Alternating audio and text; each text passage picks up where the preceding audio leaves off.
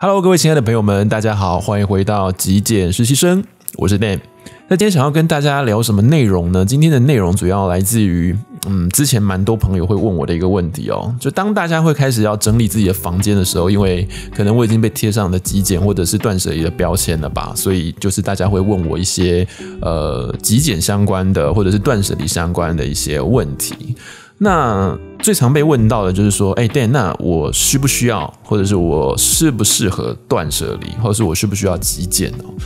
这个问题其实，嗯，我蛮难替每个人回答的，因为我觉得他还是需要回到自己的生活里头去问自己说，为什么我需要断舍离？也就是说，其实不一定每个人都需要断舍离，那是要看你的目的是什么东西，你的目标是什么。那对我个人来说，我觉得在早期的时候，我会断舍离。其实我把断舍离当做是一种手段，我觉得它是一种方法。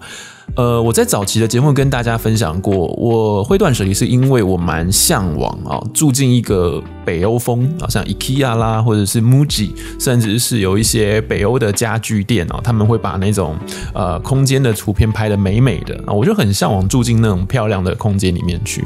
但是如果你仔细去观察，其实这些空间，不管你走进 IKEA 的样品屋啊，或者是你看这些照照片、这些图片。老实说，他们真的是很极简吗？好，就是你个人对于极简的标准是什么？我觉得真的是因人而异哦。有些人觉得极简就要像日本的某些呃极简人士那样子，居家里头呢真的是很干净，空无一物，几乎都只留下了必须的物品，而不是那种呃装饰啦或者是气氛啊这种物品啊，几乎是没有的。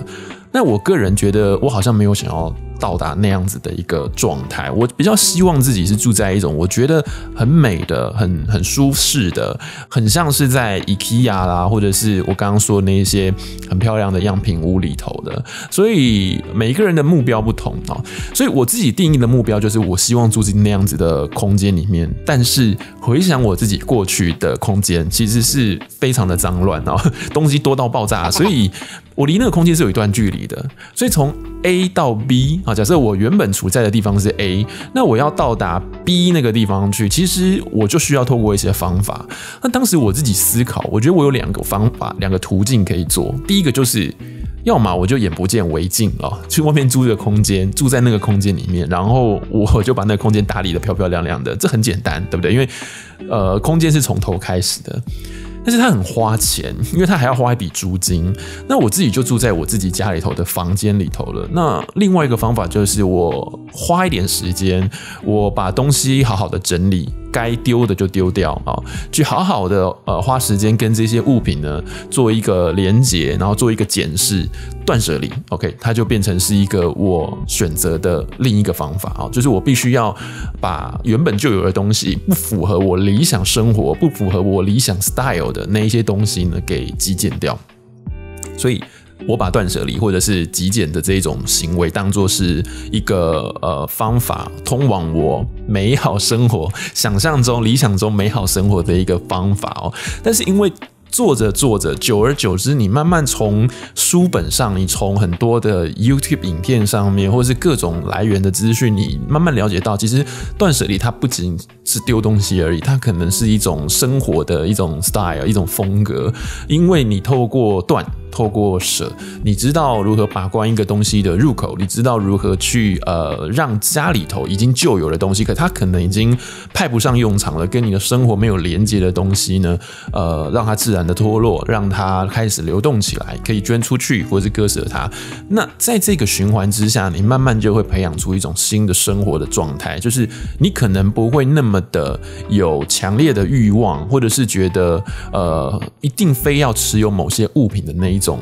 执着所以你就会进入到一种离的状态，就是你脱离了对物品的执着，那它就会变得让你的空间在未来，就是你整理完之后，你断舍离完之后，它还能够保持在一个非常干净的、舒爽的品质里面，而不会说哦，我今天整理完，可能一个礼拜、一个月之后就就炸掉，又又乱了起来哦。就是你开始慢慢的有一种新的生活风格。那我回想我自己这一路过来，我觉得我最喜欢断舍离后的一种居家。空间东西没有非常的多，但是我所拥有的每一样物品都跟我产生很紧密的连结。我指的是我使用这些东西的时候的那种内在的愉悦、那种快乐的感觉，还有就是我时常的啊使用它们的频率呢是很高的。所以在这个状态下，我觉得不管你今天呃对于断舍离、对于极简的这个。程度哦，定义到哪边？我觉得你会有你自己想要的生活。好，所以我们回过头来回答刚刚那个问题：究竟谁需要断舍离，或者是我适合、我需要断舍离吗？那么就先问问自己，你想要过的生活，你理想的生活究竟长什么样子？哦，你有没有一个 picture？你有没有一个想象、一个蓝图？或者是你是不是能够呃有一个图片、有照片去 search 一下，去寻找一下、研究一下？那如果你有，那再看看你现在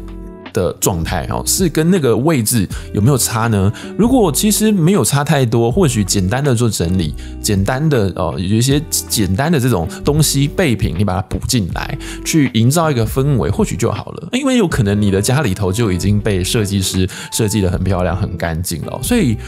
不一定是每一个人都一定非得。断舍离哦，有时候你已经很棒了，可是你就觉得说，哎，大家好像都在流行断舍离，大家好像都在流行极简，那我是不是应该让居家再再更怎么样一点点？我我我觉得不不一定是这样子，就是你可以去呃。看网络上面的一些资料，或者是呃 YouTube 也好，听 Podcast 也好，就是你可以慢慢的去理解啊断舍离这样子的一个概念，然后透过断舍离这个概念来协助自己在购物上面，或者是未来在物品的入口方面呢，你可以有一个把关。我觉得这个倒是不错，但是至于居家到底现在需不需要把东西丢掉呢？我我不认为哦。所以如果你现在家里头已经很好了，你也觉得蛮满意的，这也是你喜欢的风格的话。那我想，其实就不一定要断舍离。OK，好，那么最终我们再再讲到，就是那如果真的你要我回答说，到底谁需要断舍离，什么样的人需要极简？我我个人认为，如果比较直观一点的话，就是嗯，如果你所持有的东西，你所拥有的物品已经呃多到会影响到你的生活本质的时候，那我觉得或许你就是应该。要开始思考断舍离这件事情了。举一个例来说，之前常常分享的，如果你的东西呃很多哦，呃多到呢，它可能让你要找物品的时候会浪费很多的时间。举例来说，你可能今天有一个约会，但是你为了要找一串钥匙呢，花了二十几分钟，然后呢约会就迟到了啊，或者是他可能呃把一些东西给深买了，你找都找不到的时候呢，又一直反复购买哦，那这就是产生一种金钱上面的浪费哦。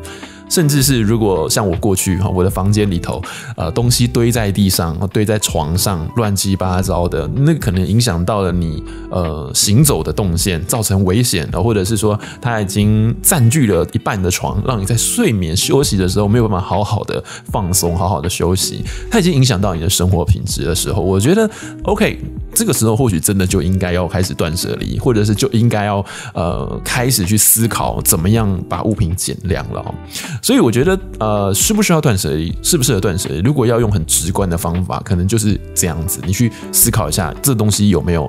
呃，影响到你自己的生活。那如果没有的话，或许就不一定要透过断舍离这种方法，除非就像我刚刚说的，你想要有一个。啊，自己理想的生活风格，也许你现在的居家里头没有什么风格可言，比较一般般哦，比较比较嗯，当时没有想太多，可能买东西的时候就没有想太多，所以有人有些人会跟我说，为什么有些人的家里头很有风格，很漂亮，那为什么我好像家里头很很买了也是买了很多很喜欢的东西，很很不错的小物品，可是堆在一起就好像觉得哎，没有一种漂亮的感觉，美不美不起来。就像我常说的，我们去 IKEA 哦，看到什么。东西都很很棒，去 MUJI 看到什么东西都很棒，但是把这些东西带回家之后，你就发现奇怪嘞，怎么还是达不到，或是还是没有办法弄出个像他们那么漂亮的那种空间哦？那这个就是我们要思考的，就是我们在呃摆设，或者我们在陈列的时候，或者是我们在选物的时候，就要去思考的地方。那如果说你想要从你现在就有的风格，change 到另外一个风格，或许断舍离它会是一个途径，因为你必须要把风格以外的东西哦，可能你要捐出去，你可能要二手卖掉，你可能要处理掉它，然后再把新的你觉得适合风格的东西给补进来啊。那我觉得这这个可能会是一个途径啊。所以 overall 回到。嗯，一开始我觉得这件事情断舍离，谁适合谁不适合，就是你要去看看你自己现在的生活，你生活满意吗？那不满意的地方在什么地方？你可以透过什么样子方式去改善呢？嗯，一定要断舍离吗？或者是可以有其他的方法哦，来来来来做一个调整，做改变？所以我觉得因人而异。嗯，就像我说的，每一个人对于断舍离、对于生活的美感或对于生活的需求不同，有些人觉得，呃，我拥有的。东西可能还太多了，呃，我觉得我现在拥有的东西可能哎刚刚好，或许你可能需要再更多一点东西。那其实每个人都不一样哦，就是找到自己觉得适合的呃地方就好了。那甚至是每一个人现在的体验跟每一个人所处在的这种呃阶段也不同哦。如果像我过去。那我就觉得我过得好好的，我就觉得我好像也没有什么需要调整的地方。我虽然住在一个比较混乱的地方，比较杂物啊丛生的地方，呃，也没有想要断舍离的念头。所以那个时候其实我也不一定需要断舍离，对不对？哦，就是虽然看起来很乱，可是啊，我自己就觉得呢，好像也还好呢。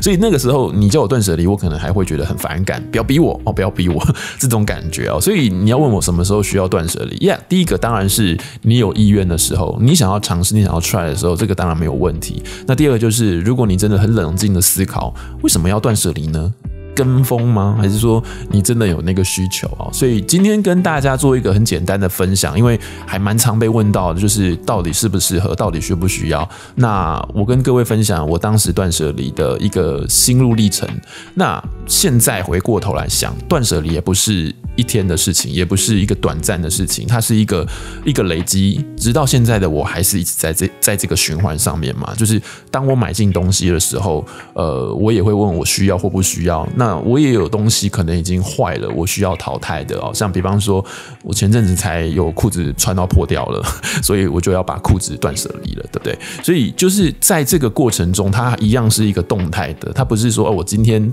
好像整理完了，那就好像。一切就凝结在那个状态上哦，其实并不是。所以回过头来，我觉得断舍离很有趣，因为它一直让我可以不断的在呃生活中一直有一种太旧换新的感觉，一直让我有一种可以成长的，一直有一种动态的感觉。那东西我曾经也跟各位分享过嘛，我觉得东西的呃流动哦，一种一种持有与与放下的这个过程，其实呃它蛮美的，然后也是一种美好生活中。呃，必要的一个过程哈。